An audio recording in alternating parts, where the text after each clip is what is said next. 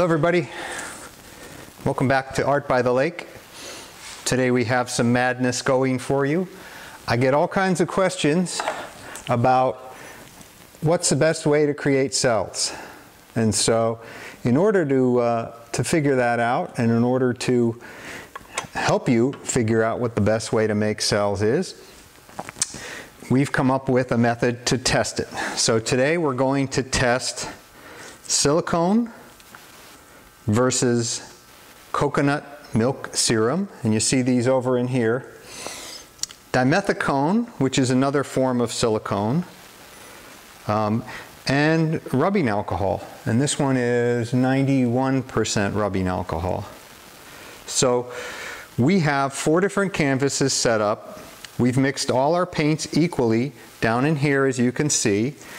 And we're going to do four swirl pours uh, so that you can see the differences. So the paint consistency is exactly the same. You know, we love wasting paint, but we don't like buying paint. So over here for the coconut, we have one set of colors. And it is, with all of these paints, it is two parts Floetrol, one part paint, and one part distilled water. We make our own colors. So a few of these are standard. This is my Nemesis Thalo Green. You see it here and here. Um, and the rest we kind of make up on our own. And again, this batch is going to be coconut milk serum. This batch is silicone. This batch is dimethicone. This batch is rubbing alcohol. Uh, we're going to do four swirl pours. I'm going to start all four canvases with a bunch of black paint down the middle. That'll help things get flowing and start making the mess. So I'm going to pour this down the middle. And while I'm doing that, um, I should remind everyone that because we have about a 20 minute limit on our camera, um, before I have to reset it. I don't know why they do that. You can email Nikon and ask them why there's a 20 minute limit. But at about 20 minutes, it will shut off. So I have to kind of watch the timer here that I have off to my right so I can see if we're pushing near that. If we push near that, all I really do is just restart it. So it requires me to just turn the microphone off for a minute and uh, restart the camera. Not a big deal. You won't notice it for most uh, for the most part. So I'm just kind of getting the canvas wet here so the paint will move around. The black does not have anything in it other than Floetrol water and paint. There's no silicone, there's no coconut, there's no there's no other things in the uh, in the black. And I do the same with the white. Um, the only exception to that you'll see is that as part of the one green pour here, down here if you can see, there is black. And I did put dimethicone in that black. So um, we've got most of that color out. So I'm going to start quickly building my, my swirl pours. And they're in the order that you would want them in here. And I'm going to do this, if you notice down in the cup, I have a pour spout bent into the cup. I'm going to pour down in there. I'm going to pour gently down into there. Um, with this particular one, with the coconut, uh, I'm going to start with black just because for aesthetic reasons I want to do that. Um, we have about 33 colors here. So if you're wondering how many colors are sitting out in front of me, we have about 33. It has taken me close to an hour to build them all. I measure all of my paints on a scale. So, um, so they're accurate so that it's easy to see, you know, how much uh, two parts of Floetrol is. So I'm going to be gentle and as I pour these, I'm going to try to be gentle. The gloves I wear are a little bit slippy. And we're not setting a lot aside. Um, the swirl pour usually is not something that I touch up a whole lot. And you'll see what I mean by swirl pour once we get going. But for the most part, I'm pouring all of the paint in all of these. And this is this sort of slow part. So you'll see this part takes a few minutes and so um, that's why when we do four of these, uh, I may have to reset the camera once, perhaps even twice. So you'll see I'm just sort of lining these up with the pour spout. I'm pouring them in gently and slowly. In looking at this, I'm assuming I probably have too much paint, but if you do these often enough and you use the cheaper paint right now like I do, um, you'll find you're better off to not come up short because if you come up short, you have to start remixing and that can be a pain. Uh, and it's a real pain, I will tell you, when you're doing the videos for YouTube because it just screws up the whole flow of things and you have to stop everything. You can kind of see down in there now. Uh, this one consists of black, yellow, orange, a deep orange, red, magenta, a deep purple color, a cobalt blue color, and my nemesis phthalo green. And if you're wondering why I call it my nemesis, uh, check back through some of my other videos. And green has a mind of its own. And no matter how hard you try to predict what it's going to do, it doesn't do that. So you'll see phthalo is the one color I'm going to just go lightly on here. The good news is I'm pouring phthalo last. So last in will be first out. First out will most likely sweep off the edge of the, the canvas. This is the point where you don't want to drop the cup. So, okay, here we go. Very slowly, swirl pour.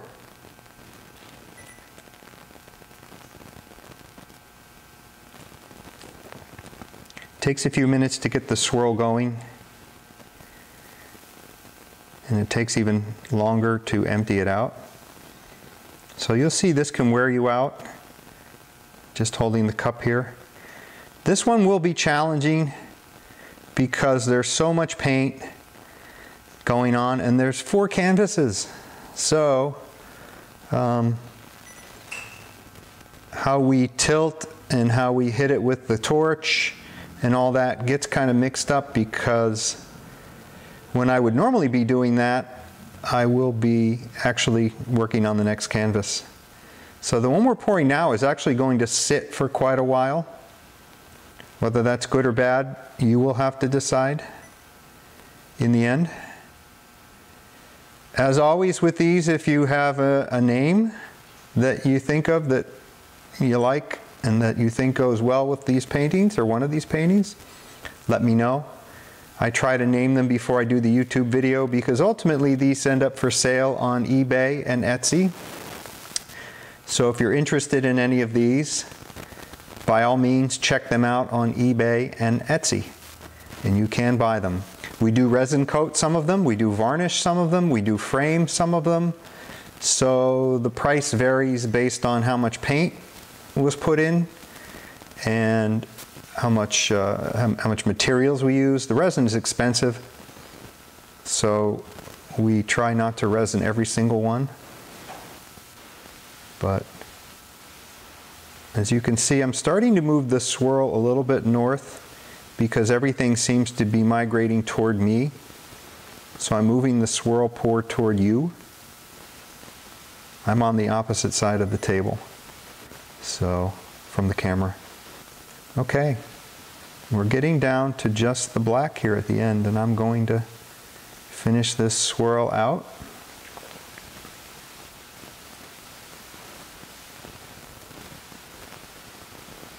and put the cup aside. Can see already we need just a little bit of black in the corner up here to help things flow a little bit better, so I'm going to do that. I'm going to do that here. I put push pins in the bottom of this one, and I also went around and painted the edges black. I like to do that just because then there's not so much pressure to get the paint to uh, to flow over the edges and evenly and uniformly coat the edges, especially when I do the black paintings. I like, I like to do that. So a lot going on with that one. We'll give it a quick torch and then we'll move on to the next one. We are about 10 minutes in, so we're doing good on time. Probably only have to reset once. I kind of like this one. I'm not going to mess with it a whole, whole lot. Um, you can see we've got some flow over the edge. Put a pan under that.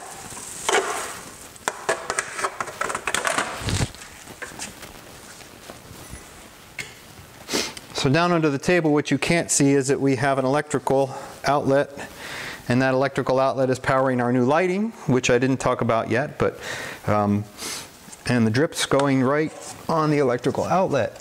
So, had to catch that. So the next one here, we're going to start with white. This one is silicone. You see how the coconut is doing already? You can kind of see some movement in the coconut. The white I'm pouring in here in the silicone does not have silicone in it. Every other color does have silicone in it. So away we go.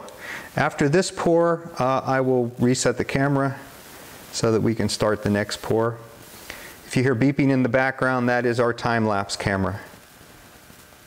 And that will be at the end of this video. We do uh, one frame every 30 seconds, and we let it run for about two hours after we cut the video off. And we find that's about the point that the paint stops moving and the video starts to get a little bit boring. So we cut it off at two hours. Okay, so in this one we have white, red, orange, yellow. If this sounds familiar, these are rainbow colors. If you remember from high school that they used to tell you how to remember the colors of the rainbow was with the name Roy G. Biv. Red, orange, yellow, green, blue, indigo, violet, and that's what we're doing here. Just seemed like fun, seemed like a good way to test out these different cell making materials. And that's the whole point here. We have lots of email people asking us which is better, coconut serum, silicone, dimethicone, or alcohol. And there are lots of videos on YouTube with people using all of them. Um, we have our favorites, and you'll see that in future videos and in past videos. You'll see which ones we use quite a bit uh, and which ones we don't use as often. I will tell you the dimethicone, the third one, we find a, a little bit hard to get it to dry. So um, when you want to do something, if you want to seal your painting later or you want to uh, resin coat it or something along that line, it takes a while to dry for the dimethicone. It's so, so syrupy. It's also a little bit hard to work with because it is syrupy. So you may have a better experience with it than I do, but we find that one a little bit difficult to work with. So we don't use it as often. And the alcohol, I just don't have a ton of experience with yet. So we don't use that one as often either. Um, it is, you got to sort of contain this bottle into a smaller cup. Okay, let's get our, uh, otherwise it gets messy, it gets dribbly. So there's a messy start, but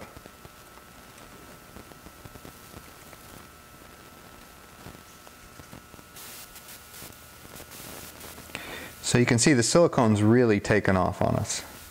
Orange tends to dominate.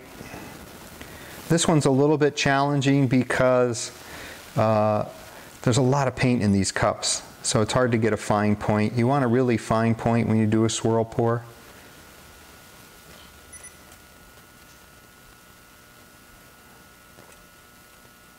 We'll get this one squared up. You can see we're down into the dominant orange color. You can see some of the other colors popping out of there. It's flowing pretty good toward me. Some interesting stuff flowing off to my, um, to your left, my right. And you'll see I sort of counteract that by moving my pour. If I don't think it's going the way I want it to, I will move the swirl in a different spot, which is kind of what I'm doing. You'll see I'm trying to help these a little bit.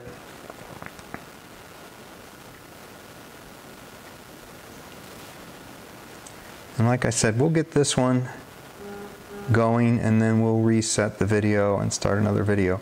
We are really red dominant right now in this one.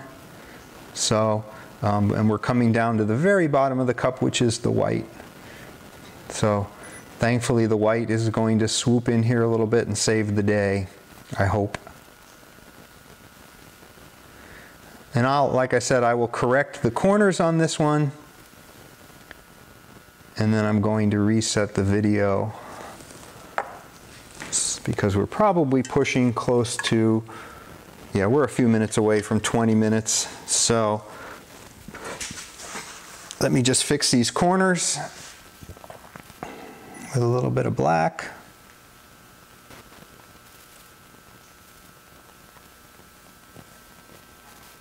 It's a little bit of a challenge now because I have four paintings so close together. Um, and you know the messiness of painting with pour. Okay, so I'm going to uh, reset the, the video rig and I will be right back.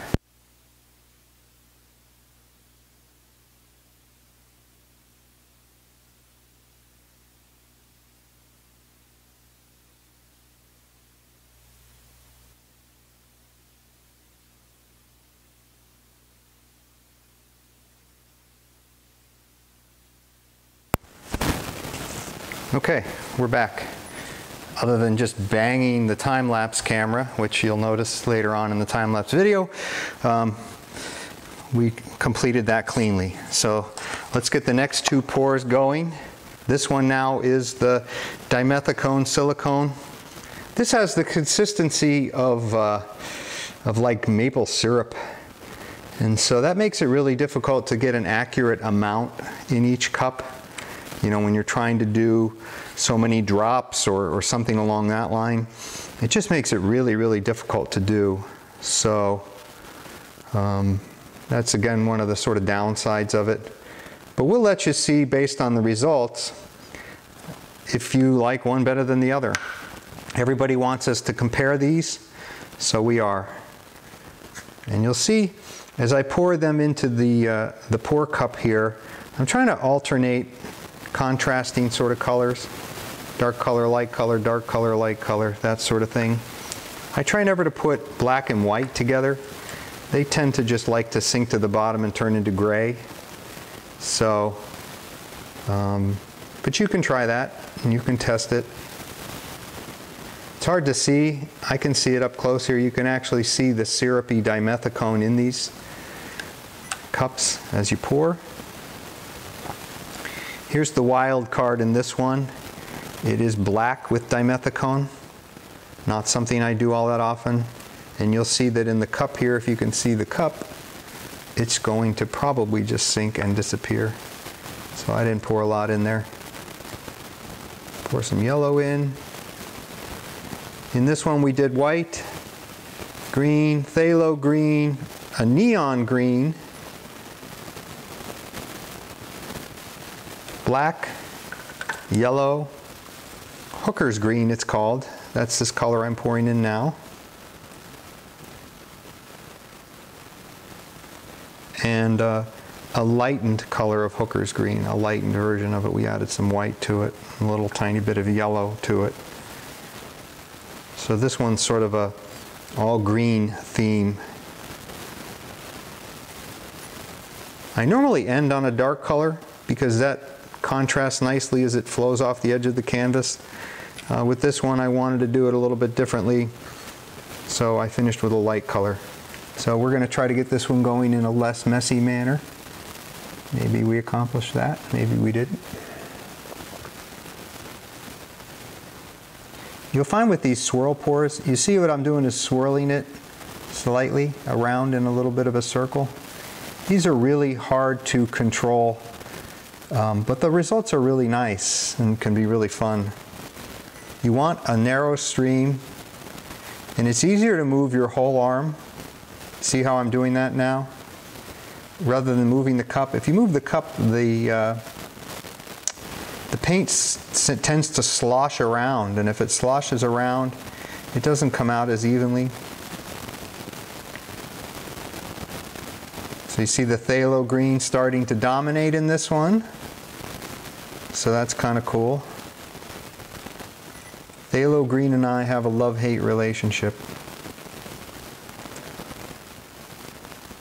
Love to use it, hate the results sometimes. Okay, here comes that neon. I was kind of hoping the neon would stay on top. I shouldn't say that out loud in front of the Thalo green because the Thalo will devour it. As you can see, it is.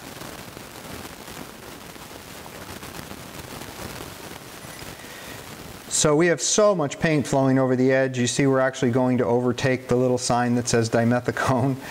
Um, I didn't do a whole lot, but it ended up being, you know, so many colors that uh, it ends up being a really full cup. And with a really full cup, you're going to dump a lot of paint over the edge. But that's okay. That's the fun part.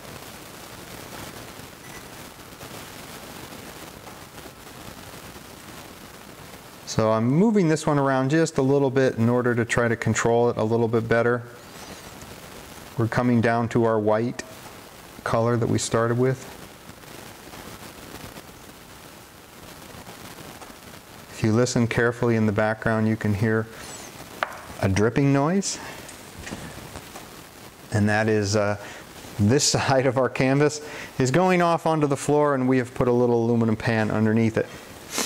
Okay, so you can see how each one of these things is reacting. I'll come back with a little bit of torch on this third one. Wake up some cells in the dimethicone.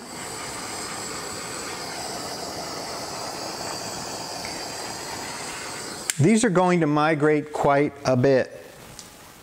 So, so let's do our fourth and final. Uh, again, this one is started with white. And then we have sort of a dark blue that we've created ourselves, sort of a gray blue, right here.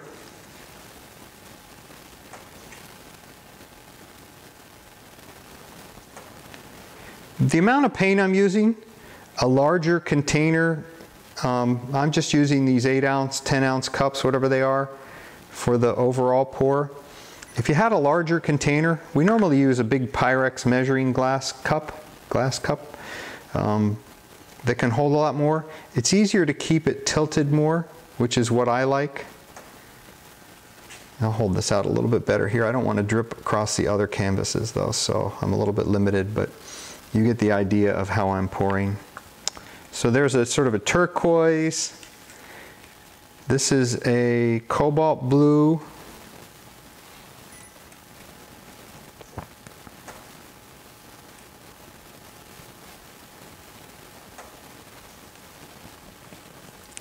Followed by this odd grayish turquoise that we created.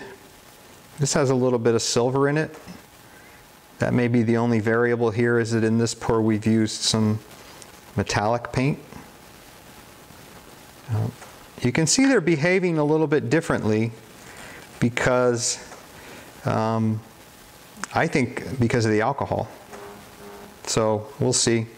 We'll see what our final results are. I'm, I'm expecting it to behave one way with all four of these.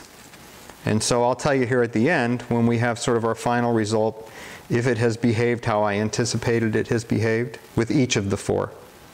And we'll check my time here too in a minute. So this last color, I, I did a gray color there, and then this last color is a silver blue metallic that I mentioned. And so I'm not really sure how this is going to play with the other colors. And again, last in, first out. First out is usually the one that gets blown off the side of the canvas. So we'll see if we can get this up to a point and get a nice swirl pour going here without being too messy.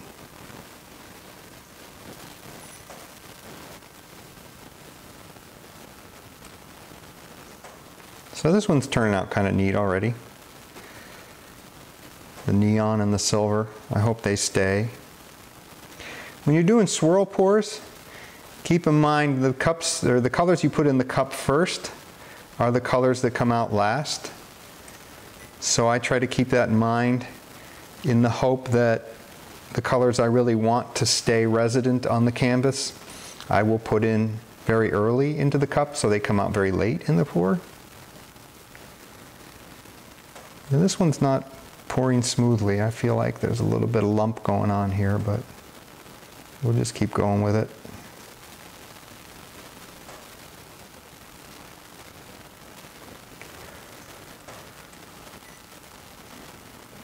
And while I'm pouring the fourth one, you know, you can still be watching that first one to see what you think and what your favorite cell creator is or cell enhancer is.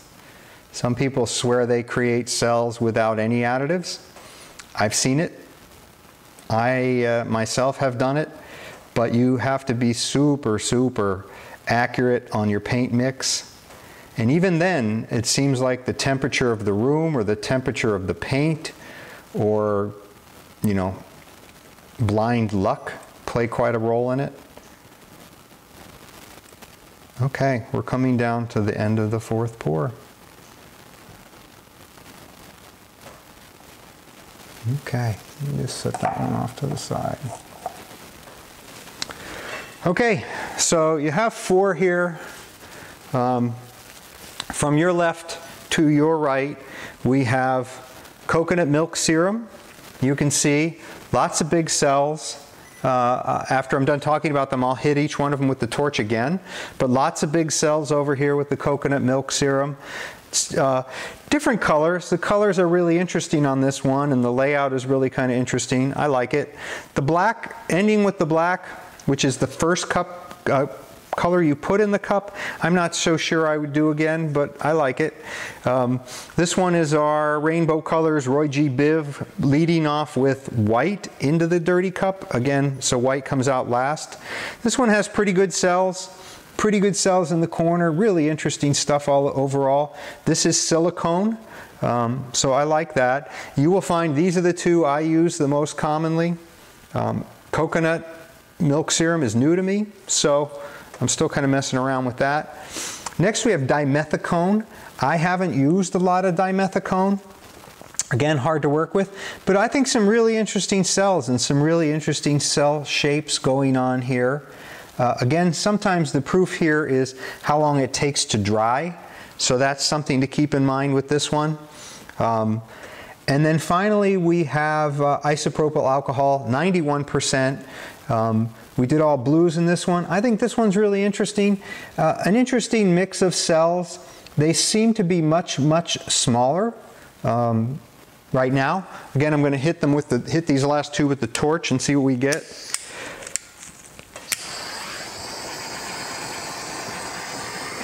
So there's a little activity there.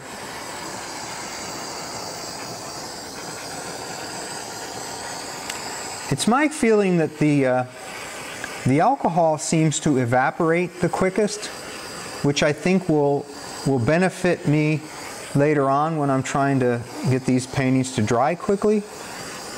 But it doesn't seem to help with the creation of the cells. So that's a little bit tricky. Um, I'm going to pull some of the black here that I used in this one and just coat the edges. And we're just about ready to call it done and let the time lapse run. But we'll, we'll fix these corners on this one. Um, I'll use the main color black I have to fix the corners on the last one. If you like what you're doing, well, if you like what you're doing, keep doing it. Um, if you like what we're doing, subscribe to us on YouTube. We are Art by the Lake. If you're watching this, you've probably already found us. But subscribe to us if you can. Um, we'd like to get all of our audience back over here and back together so that we can do a little bit more with the channel. If you are interested in asking me any questions, you can reach me at artbythelake at gmail.com or you can comment in this video. I do check comments. I do try to answer all the comments.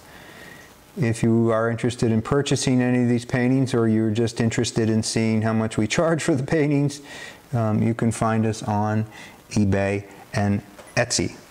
Both of those are Art by the Lake. So find us there. This is our 33 color pour, swirl pour, comparing coconut milk serum, silicone, dimethicone, and alcohol. Thank you for tuning in, and thank you for subscribing.